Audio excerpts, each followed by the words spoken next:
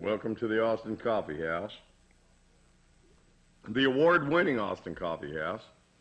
I'm David Arnsberger, your host this evening. Tonight we have a very special guest. Uh, we're going to talk about something new in the Austin community, something very viable, very interesting. Uh, please stay tuned to listen to our guest this evening, Joy Poth Aleman will be joining us shortly from the Third Coast Repertory Theater. In fact, here she comes now. Hello, Joy.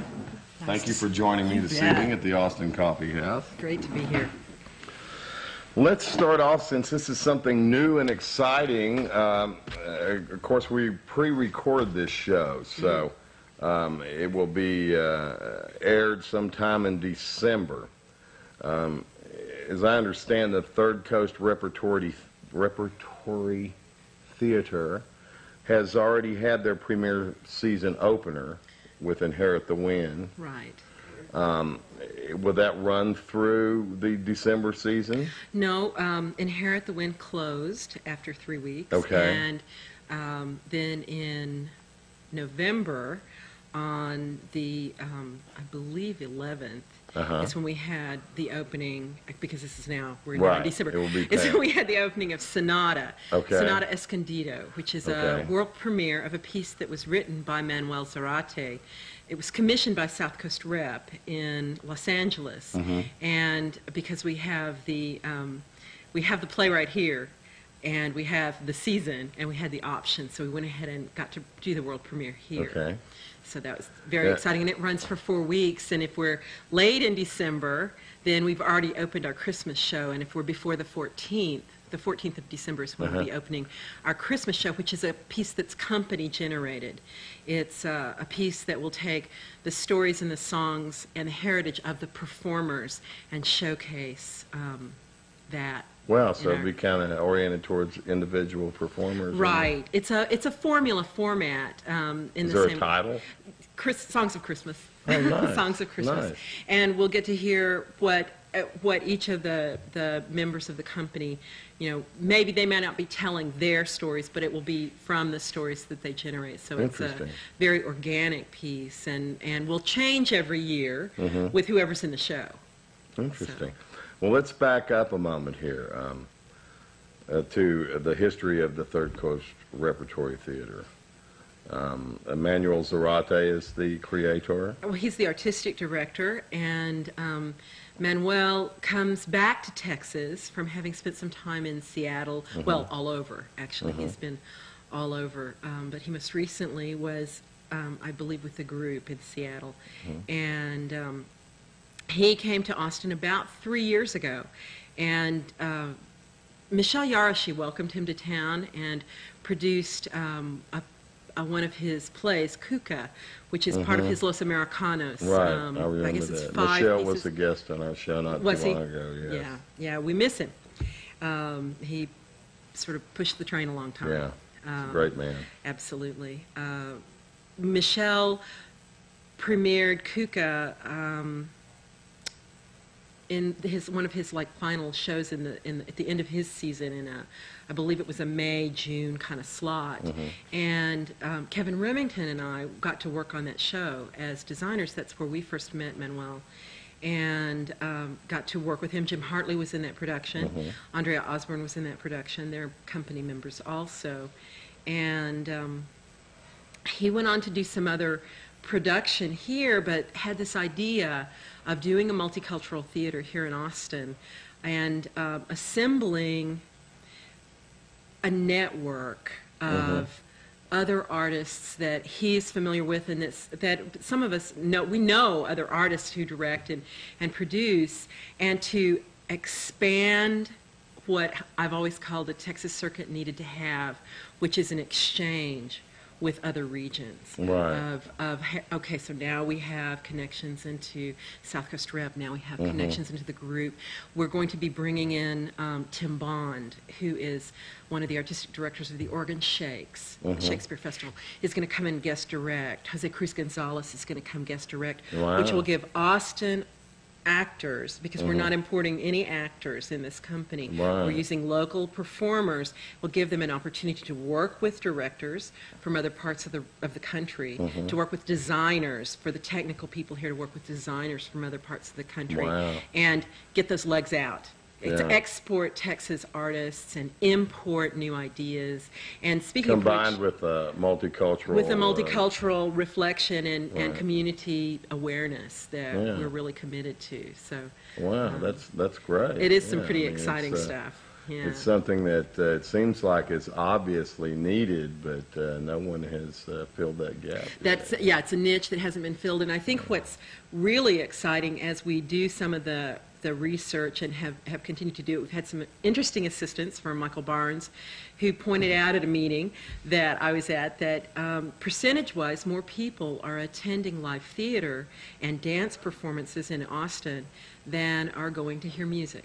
Huh. So the demographics, in terms of numbers of people and dollars spent and available dollars spent, say that theater is a very important piece of the economy mm-hmm. in Austin. Mm-hmm. So we're here, we're working here, we're committed artists that work in our field, and we want to move that perception forward so that the, the truth of it is reflected in the bed tax. The bed tax had a surplus of, I believe, more than three thousand dollars that they didn't anticipate that they had to get, you know, proportion Right, out right. with that um, those finances that they do through the city um, offices, and if we're bringing in, if entertainment is bringing in that bed tax money, then something's working right Yeah. then we're yeah. working right. So it's a it's an awareness piece of Austin as a theatrical center Yeah. for the region. Um, there was more theater, live theater in Austin, Texas, in the last month than happened in Boston, which is an out-of-town place Yeah. for New York shows. Yeah. You know, so we have a place. To Why do you think that is? I think some of that has to do with the education level of the community. I I've think- heard people say before that they um, they thought theater was a dead art. That the only people that that go to theater are actors or would be actors. And if that were the case, I Hmm. Would say we have quite a few of those here. the Right, right, exactly. But I don't, I don't think that's what happens. Okay. Um, I think that the same things that happen in audiences in theaters are the same things that happen in audiences in in um, live performance of music, Mm-hmm. live performance of dance. The Um, exchange between the yeah. in that black box, Mhm. Everyone in that black box for two and a half hours is a community. Wow. They're laughing at the same thing. They're mm-hmm. sighing. They're being amazed. They're moved to tears. Right. And for a moment, it's all suspended. yeah. And we go to that black Right. box to be moved. So when we talk about community building, the arts have always been a link Mm-hmm. to have people of very different backgrounds come together and have a have a human experience. Right, right. And I know as a musician, you certainly have seen plenty of different Oh, kinds of folks in the audience. It's cool. No Yeah. problem. And I think that educational moment is what live theater and live performance has that opportunity to do. Mm-hmm. Right, You know, it's that right. link. Yeah, it's it's um, uh, you know I I can uh, recall gigs with 13,000 people out there that I'll never forget, and I can recall gigs with 25 or 30 people I'll never forget. Right. And then hopefully I won't be able to recall some of the ones I don't want to recall. But Yeah. I'm sure we all, as performers, actors, musicians, whatever, have suffered uh, some of those. as It's all in the moment. this is fascinating. Let's expand here. Let's talk about um, location, first of all. Where is this uh, Third Coast Repertory Theater located? We are currently in residence at the American Institute for Learning in their John Henry Faulk Theater space Which is at 4th and Brazos at 204 East 4th Street. good location down there. It's a great location. thriving warehouse district. Absolutely, absolutely. Lots of walking traffic, and we're um, we're constantly looking for that angel in the form of a banker that will let us use their parking garage. We Right. haven't got that one yet, Right. but we're looking. Valet parking. Yeah, well, valet parking um, more than anything. Uh, the thing that keeps the city vibrant is the business of having people walking around downtown. So we're really delighted to be a part of that. One of the things that doesn't happen in other cities in the South in the same way that it happens in Austin is that every weekend something is happening downtown. Right. And people come into city center. Um, there are people who don't, but Right, quite a few people right. do. And they're not just teenagers trying to find a way to sneak into a bar. Right, You know, right. there's there was a wonderful thing with the basketball, you know, three on one. The hoop it up The thing. hoop it up thing. Amazing. It was an amazing thing. I, I really loved that and had to kind of wind my way around them to get to the theater to do Mm-hmm. what I needed to do. But it was great to see people downtown, people that I hadn't ever seen downtown. Right, You know, right. we're downtown and hanging out and checking it out, walking around. And um, we get a remarkable foot traffic and have been looking with some other nonprofits, some other theater groups about doing a sidewalk sale or Yeah, a warehouse, warehouse sale to just get some more awareness, get some more folks, you know, down, looking it over, Mm-hmm. seeing what's going on. So the John Henry Faulk space is an old warehouse that a month ago was an old warehouse. Mm-hmm. and that's, that was it. And now we have, um, thanks to Richard Galbraith and Galbraith Construction, um, they donated the materials for the platform and um, Habitat for Humanities Wow. um, helped us with um, carpeting and paint and Nice. um, That's nice. oh yeah we've had some remarkable partnerships in Did this you have project to qualify for Habitat for well Humanities? And it was about of it was about getting on the phone and Yeah. asking folks and telling them what we're doing and what the dream Right, is right. and um, by being in residence at the American Institute we have this opportunity Mm-hmm. to do some exchanges and training and workshops with their population, which are at-risk Mm-hmm. teens. And our eventual home, where we're targeting to move and build with assistance from Express Aroma and Pepsi, is Mm-hmm. to build a three to 500 seat house on the east side. Wow. So big doings that are like still sort of In the smoke works, and yeah. in the yeah in the So, fundraising and identifying and Explain to me what the American Institute is. The American Institute for Learning. Boy, I hope I get all of this right. They are um, a nonprofit organization whose mission is to, um, and I know I'm not going to get their mission statement exactly stated correctly, but I'll, I'll, we'll, we'll have a go at it. Their mission is to have a space where learning can happen mm-hmm. and families can get a leg up and to move people off the welfare rolls and into jobs and, mm-hmm. particip- and mm-hmm. participating in the community.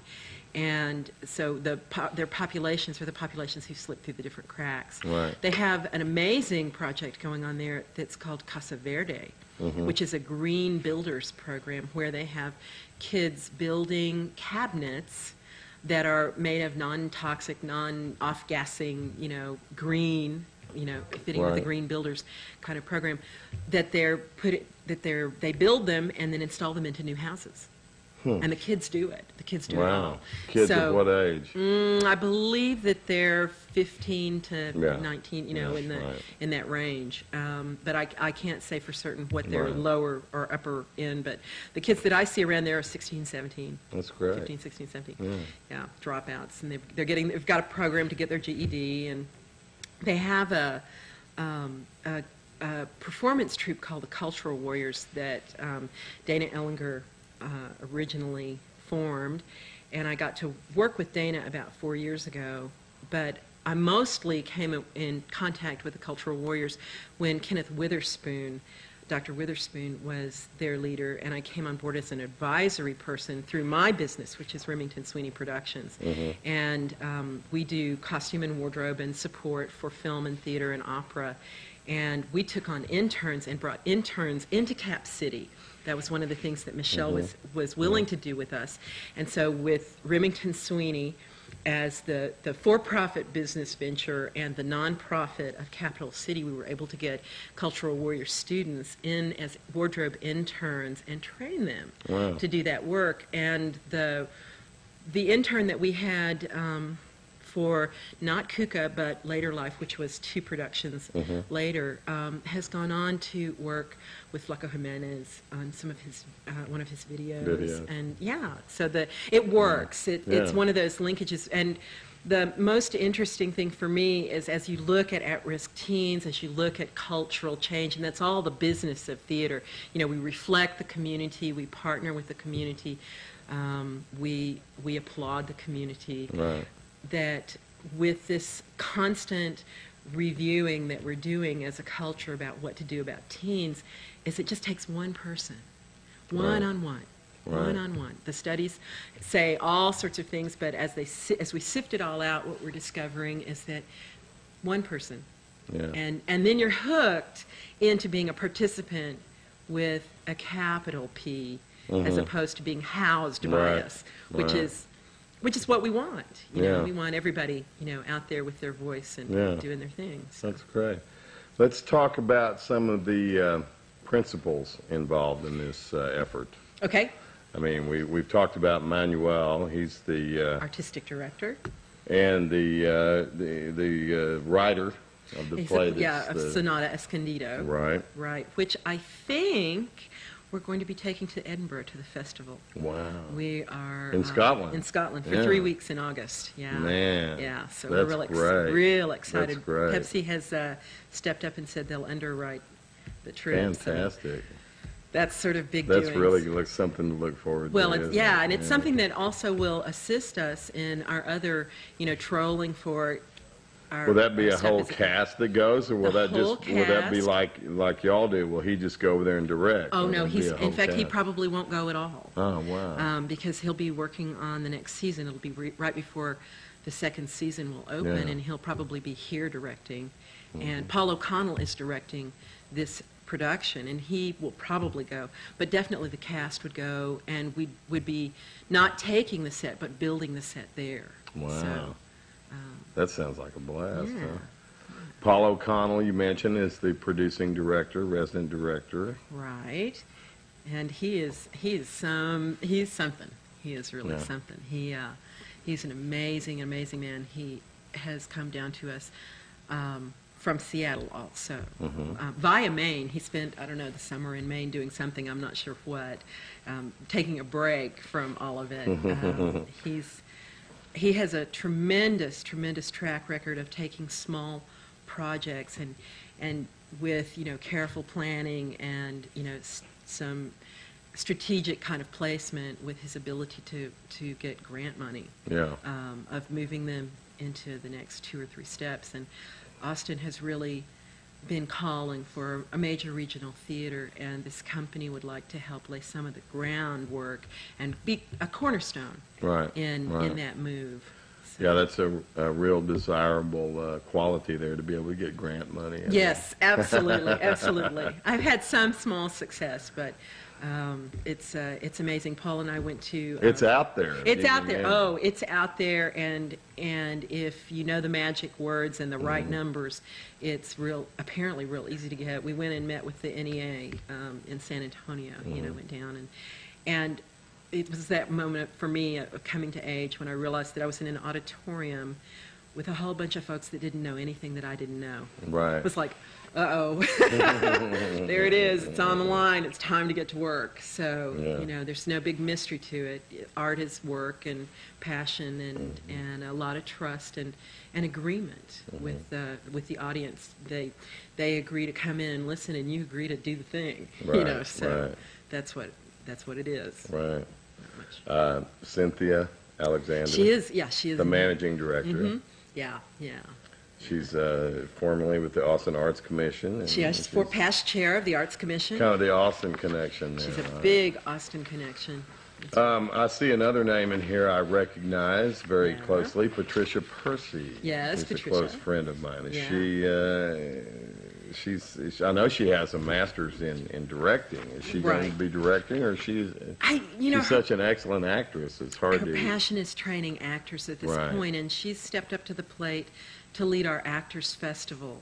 Um, one of the things that we've done this season in our commitment to the Austin arts community is to um, is to pull together an actors festival to celebrate the performer, and Patricia is leading that. Wow. um, as a facilitator, Mm-hmm. and I say teacher, and she'll say, "Oh no, no, no," but you know, Patricia, um, and we've been able to grant everyone to to cover everybody's tuition that has, there were, um, I believe, 15 actors How selected. wonderful. So, yeah, it's, uh, so it's like, no, you don't have to pay three grand this year. Yeah, Next year. yeah. But this year, you know, we, we're able to That's do that. great. So we've been really blessed. She's really that. a wonderful instructor. I can I can uh, testify by personal experience. Yeah. She, she's very very good. Well, and that's that commitment for us of the expansion of the arts, the Mm-hmm. expand, uh, you know, arts expansion. And we're doing the same thing with direct with a Directors Festival, which, if it all comes together, the directors and the actors will get to team up and do some some workshop, workout kinds Yeah. of things that will get um, that will get some performance time. How many plays are you planning on on uh, producing per year? I mean, Six. it's nice six a year. Six six. It's a full slot. Yeah, So, yeah. I'm voting for five, but I, I got outvoted. right, right, right. got outvoted. So, Six. i- i- so you'll be right up there in, in I guess, competition with the Live Oak Theater, and, and Well- is Capital City going to stay together? I don't know what they're gonna do. They're still I looking hope for they do. space. Yeah, they were looking for space before Yeah. Michelle Yeah, passed. But yeah, they were looking for space, um, and and space is space is tough. yeah, yeah, Um, especially in the in the uh, prime locations. Well, yeah, I think that that's a pretty standard thing to happen. Yeah. Actually, you know, I mean, musicians and artists go in and do studios. That's what happened at the rail yard. That used Mm-hmm. Yeah. to be, you know, Yeah. warehouse space. Well, and the Live Oak got got. Yeah, You know, they yeah. had to move, and and the move seems to have been a benefit to them. They're in a much better location. They're in a better location. Um, I, the, um, I, I don't know. It's hard. To, it's hard to know what what happens with um, with movement from that intimate space into that kind of that shotgun, you know, proscenium thing that they Well, have now. yeah, It's yeah, but I think if it's in, in its inception is in the in the intimate space, and it's successful, then it has a hardcore of, of followers and supporters that's right. That will right. hopefully uh, uh, go along with it, and hopefully the the main draw wasn't the intimate space; it was That's the right. Experience. Yes, and the work. yeah, and the work and the and the talent of the artist. Yeah, and I think Don Toner is extraordinary in keeping um, in keeping. He's been that pretty steady, going. hasn't he? Yeah, he's done been, a lot of work, He's been hard work. very, yeah. Steve Fromholz is a member of that theater. Right. He's he's a good friend of mine. He's he's always working on stuff I wish I was working on. you know? Really? Mm-hmm. I mean, he just had a role in Sweeney Todd as the barber, and Yeah. he always gets these great roles. You know, he did. Uh, he was the lead in Zorba the Greek, you know, Uh-huh. and it's it's Uh-huh. really fun roles like Yeah. that. So, are you going to come in and audition for us? Well, you know, I'd love to. I, I've been kind of on a sabbatical here. Like like I say, I've been on a paternity leave yes. Here, and, and I probably will be for a few more months. I think I'm going to be the designated Mr. Mom for a couple of months, Uh-huh. at least through the holiday season. And uh, then once we get the kid up and around, he's able to mow the yard and cook dinner and all that stuff. Well, I'll probably get out of the house a little more So often. that's when you're about when he's about ten, about ten years. Ten years? I thought it was more like six months. What do you mean? No, they're still slugs at six months. Gosh, I mean, they sure are cute and they sure are fun. When do they grow up? Yeah, too soon. Yeah, too soon, soon. right? That's Yeah. what I hear. But um, so, is there anyone else we need to mention that's part of this fantastic? Uh, Well- I mean, I'm looking here: one, two, three, four, five, six, seven, eight, nine, ten, eleven, twelve. I mean, I've got. Four pages here. There's like 20 people involved in this project. right. It's wonderful. right. I mean, great. do all these people get paid? Well, if they're working on Is there any productions, job openings anywhere here? we're in that lovely place as a new organization that if you wanted to write a grant and came in with grant money, you absolutely could be a paid Have a member. position, you right, bet, right. You bet. Um, the people that we're paying right now are Mm-hmm. production people. We're paying actors, we're paying scenic designers, we're paying lighting designers, we're paying running crew Wow. for the production. Right now, the staff is all. Um, we're currently calling it sweat equity. so, Uh, a, a term borrowed from Habitat from from Humanity. you got right. Mm-hmm. it. That's right. We're paying attention to where we come from. I've done some landscape for them. Have you- yeah, they're great. They're folks. great. It's a great, a great project. Uh, really is. Right, and they they really um, came on in a big way at a time that really made a difference for us. Um, and really, what we are inviting everybody to do is to hang hang with us and watch us grow. Is there is there space for volunteer help here?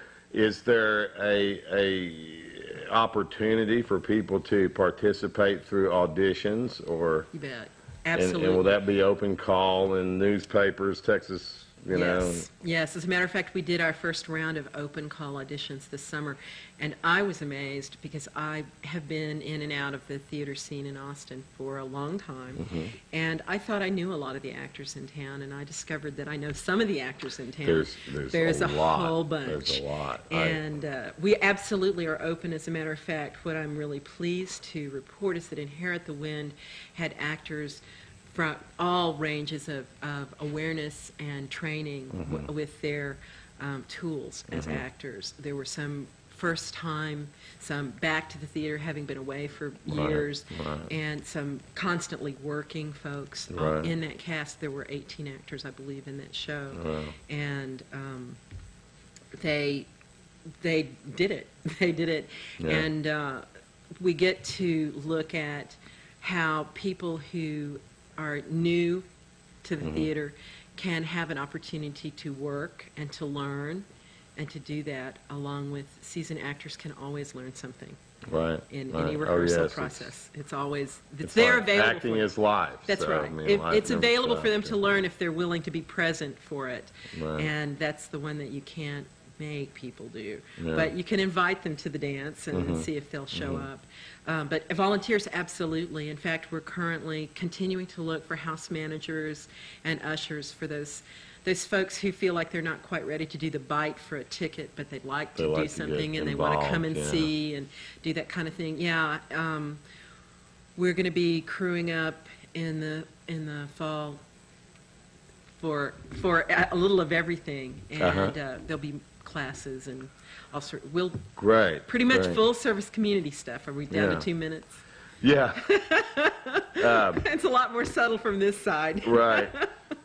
Well, eh, we'll, we'll project a number up on the screen, I'm sure, for folks to get in touch with uh, Wow. the Third Coast Repertory Theater if they're interested in becoming involved on That's whatever right. level. That's right.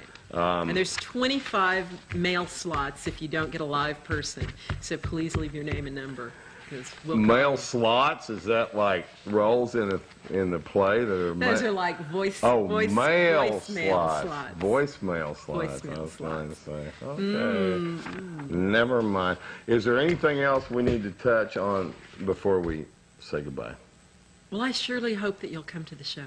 Oh, I most definitely will. And I would love it if you would come and sing. Songs of Christmas would be a wonderful, wonderful to have you come in and do a guest shot. oh, I'd love to. come and I- sing I, you're don't know town. what I'd sing. well, uh, you something know. Christmassy. Grandma got run over by a reindeer. That'd be great. uh, all I want for Christmas is my two front teeth. I can't think of any other Christmas songs I know except for Hog Leg Swine. No way, that's New Year's. Well, the show might run right on up to New Year's. So Okay. you might get to do that one too. Well, we'll look into it. I'd like to thank you very much, Joy, for Thank being our guest tonight. This is Joy Poth Aleman of the Third Coast Repertory Theater. Check it out. New exciting uh, theater happening in Austin. And now, in the words of the immortal Harley Berg, Amigas y chiquitas, große und kleine Freundin, big and little friends. Keep 'em running, flying, jumping, swimming. Support your local theater repertory, folks, because they're your buddies. This is Dave Arnsberger saying, if you see bright lights, if you see halos around bright lights, go to an eye doctor. Could be a sign of glaucoma. Adios, buckaroos. that was a good show. Was was it? Did we do okay oh, for yeah, 30 we did minutes? Great. We did.